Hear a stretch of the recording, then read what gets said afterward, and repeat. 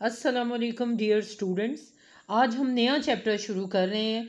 Chapter number six जिसमें हम पढ़ेंगे अबाउट सल्यूशन तो सबसे पहले हम मूव करते हैं towards the introduction of solution बच्चों सल्यूशन से हम अपनी रोज़मर्रा ज़िंदगी में फेमिलियर हैं।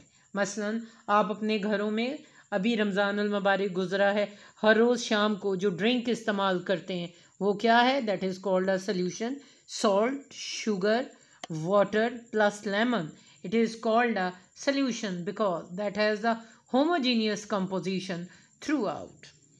Solution basically consists of two components. One is called the solute and other is called the solvent. ये हमारी रोज़मर्रा ज़िंदगी की बातें हैं ये चैप्टर बहुत एक सिंपल सा चैप्टर है इसमें आप थोड़ा सा रोज़ का काम रोज़ करते रहे तो इन ताला it will not create problem for you तो बच्चों, अब हम देखते हैं सोल्यूशन के चैप्टर की तरफ़ मूव करते हैं. Introduction solution are homogeneous mixture of two और मोर कॉम्पोनेंट सोल्यूशन यक फ़ेज़ एक जान होता है. ऐसा मिक्सचर जो एक जान हो, दो या दो से ज़्यादा अज्जा के मिक्स करने पर, उसे हम कहते हैं उस मिक्सचर को सल्यूशन उस मिक्सचर को हम क्या कहते हैं? उस मिक्सचर को हम कहते हैं solution Solutions are formed in three physical states depending upon the physical state of the solvent. Solution की थ्री फ़िज़िकल स्टेट्स हैं। और फ़िज़िकल स्टेट्स का चैप्टर रिसेंटली हमने मुकम्मल किया है। Three physical states of matter these are named as solid liquid and gases तो इसकी बुनियाद किस चीज़ पर है? सॉल्वेंट की बुनियाद पर। स्टेट बनती है सोल्यूशन की। अब हम मुख्तलिफ़ एग्ज़ाम्पल लेते हैं सॉलिड, लिक्विड और गैशियस फेस से, alloys.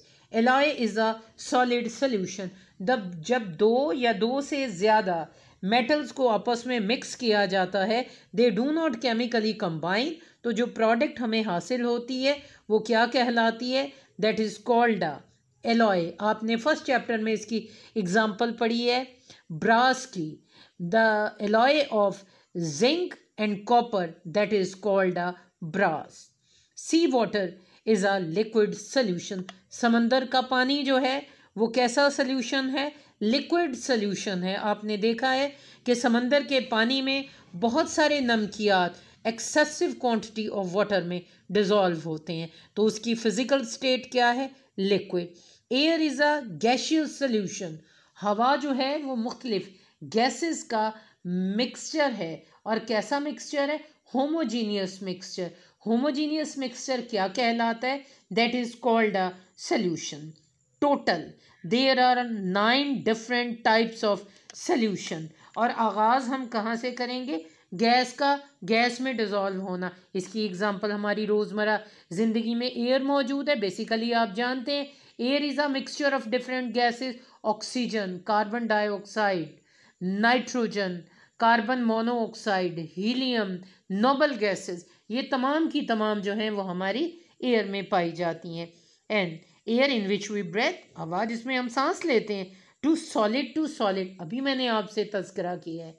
एलॉयस एलॉयस जो हैं वो बड़े मुफीद जो हैं मिक्सचर हैं। हम अपनी डिज़ायर्ड प्रॉपर्टीज़ से जो है स्ट्रेंथ हासिल कर सकते हैं और variety of product metallic base जो है वो हम हासिल कर सकते हैं बाय प्रपेयरिंग डिफरेंट एलॉयज़ और इससे ये भी हमारी रोज़मर्रा ज़िंदगी की बात है कि जब कभी हमारे दांतों में जो है कैविटीज़ बन जाती हैं तो हम डेंटिस्ट के पास जाते हैं।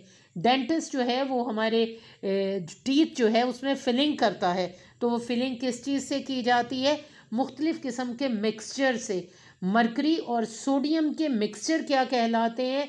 एलॉयज़ और उस मिक्सचर को ख़ास नाम दिया जाता है which is called an amalgam the alloys of sodium with mercury they are called amalgam for example dental amalgam for filling of tooth ये भी कॉमनली इस्तेमाल होता है. Liquid solution are the most common solution because of common solvent water हम अपनी रोज़मर्रा ज़िंदगी में सिर्फ़ सोल्यूशन समझते ही उसे हैं जो पानी की बुनियाद पे बनता है. नहीं चूँकि रोज़मर्रा ज़िंदगी में ज़्यादातर हमारे पास जो सोल्यूशन है वो लिक्विड स्टेट में होते हैं वाटर बेस्ड होते हैं इसलिए हम इसी को ही सोल्यूशन समझते हैं। नहीं सोल्यूशन सॉलिड लिक्विड की बुनियाद पर नाइन डिफरेंट टाइप्स के होते हैं।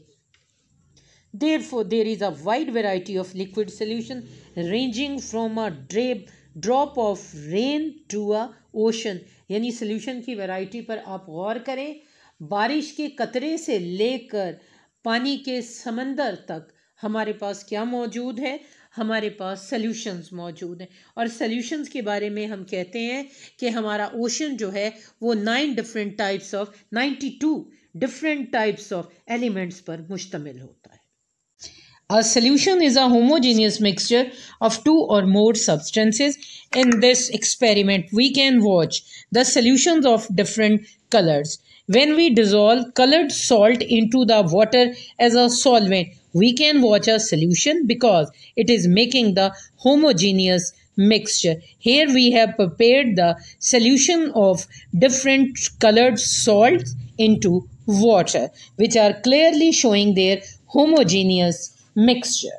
So this is the best example to understand how we can make variety of solution in our daily life.